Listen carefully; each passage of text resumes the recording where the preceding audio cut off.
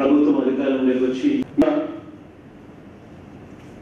అమ్మఒడి రైతు భరోసా రంగానికి అత్యున్నత స్థానాన్ని ఇచ్చి అడుగులు ముందుకు వేశారు.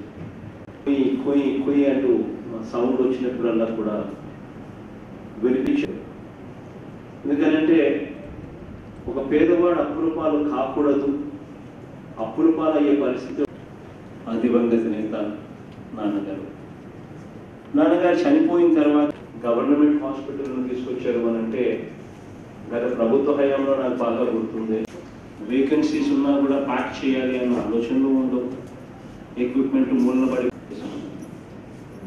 నిర్ణయం తీసుకొని మేనిఫెస్టోలో అయితే అందులో చెప్పిన ప్రతి అంశము కూడా పూర్తి చేయడానికి కోసం రెండవదన్న వైద్యం ఖర్చు వెయ్యి దాటితే చాలు. ఆరోగ్యశ్రీ ఖచ్చితంగా వర్తింపజేసేలా అడుగులు వేస్తాము అని చెప్పి. ఇందులో భాగంగా ఈ ఆలోచనను నిజం చేసే దానికోసం వెస్ట్ గోదావరి జిల్లాలలో పైలట్ ప్రాజెక్ట్ కింద తీసుకొని ఆరోగ్యశ్రీలో పరిధిని ఇంతకు ముందున్న వెయ్యిని రెండు వేల దాకా తీసుకొని పోయి వెస్ట్ గోదావరి జిల్లాలో పైలట్ ప్రాజెక్ట్ కింద ఇన్ని రోజులు నడిపించారు. ఈ వెస్ట్ గోదావరిలో పైలట్ ప్రాజెక్ట్ కింద చేసిన ఈ ఆరోగ్యశ్రీ పరిధిని రెండు వేల వరకు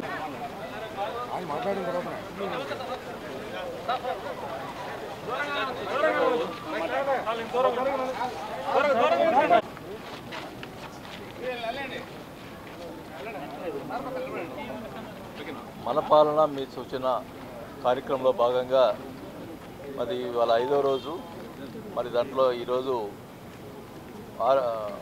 మరి హెల్త్ విషయంలో ఆరోగ్య శాఖ విషయంలో ఈరోజు ముఖ్యమంత్రి గారు చర్చించడం జరిగింది. గత సంవత్సరం నుంచి కూడా ఈ ఆరోగ్య శాఖ విషయంలో మరి ఈ ప్రభుత్వం చేసినటువంటి కార్యక్రమాలన్నీ కూడా వివరించడం జరిగింది.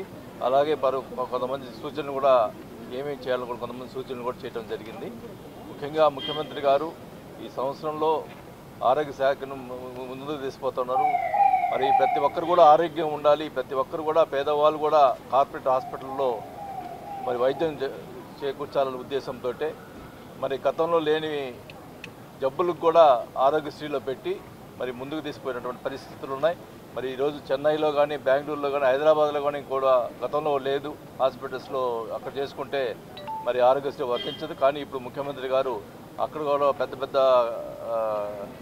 హాస్పిటల్స్లో హాస్పిటల్స్ కూడా ఆయన మరి ఆరోగ్యశ్రీ వర్తించే విధంగా చేయడం జరిగింది.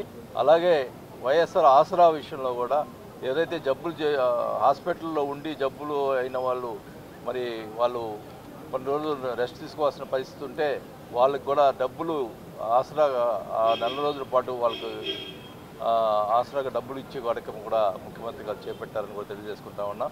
మరి ముఖ్యమంత్రి గారు గతంలో రాజశేఖర రెడ్డి గారు పెట్టినటువంటి ఆరోగ్యశ్రీ పథకాన్ని ముందుకు తీసుకుపోయిన పరిస్థితులు ఉన్నాయి.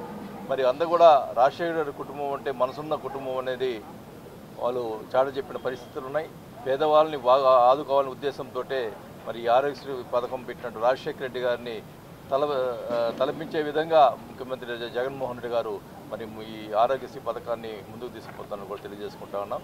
అట్లనే నాడు నేడు అని పెట్టి మరి పిఎస్ సెంటర్స్ కానీ ఇవన్నీ మరి అన్నీ కూడా హాస్పిటల్స్ ఆధునీకరణ చేసి మంచి హాస్పిటల్స్గా తీర్చిదిద్దడానికి ప్రయత్నం చేయడం జరుగుతూ ఉంది. అట్లానే ఈ సచివాలయంకి సంబంధించి ఎక్కడైతే సచివాలయాలు ఉన్నాయో అక్కడ ఈ ఆరోగ్య మరి చిన్న సెంటర్స్ కూడా పెట్టడం జరుగుతుంది. ప్రతి సచివాలయం దగ్గర కూడా ఈ కార్యక్రమాలు చేపట్టడం కూడా జరుగుతుందని తెలియజేసుకుంటా ఉన్నాం.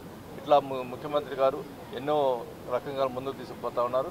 మన ఒంగోలు సంబంధించి మెడికల్ కా- మన రిమ్స్ హాస్పిటల్ కూడా కొన్ని సమస్యలు ఉన్నాయి సిటీ స్కాను ఇవన్నీ కూడా చేసుకోవాల్సిన పరిస్థితి త్వరలోనే అవన్నీ కూడా మేము సమకూర్చి తప్పకుండా మన ప్రజలందరూ కూడా అందుబాటులో తీసుకొచ్చే కార్యక్రమం చేపడతామని కూడా తెలియజేసుకుంటూ అన్ని రకాలుగా ఆరోగ్యశ్రీ విషయంలో ఆరోగ్యం విషయంలో ముందుకు తీసుకుపోతామని ప్రతి ఒక్కరికి కూడా ప్రజలకి అందరి అన్ని రకాలుగా సేవలు అందిస్తామని కూడా తెలియజేసుకుంటా ఉన్నాం.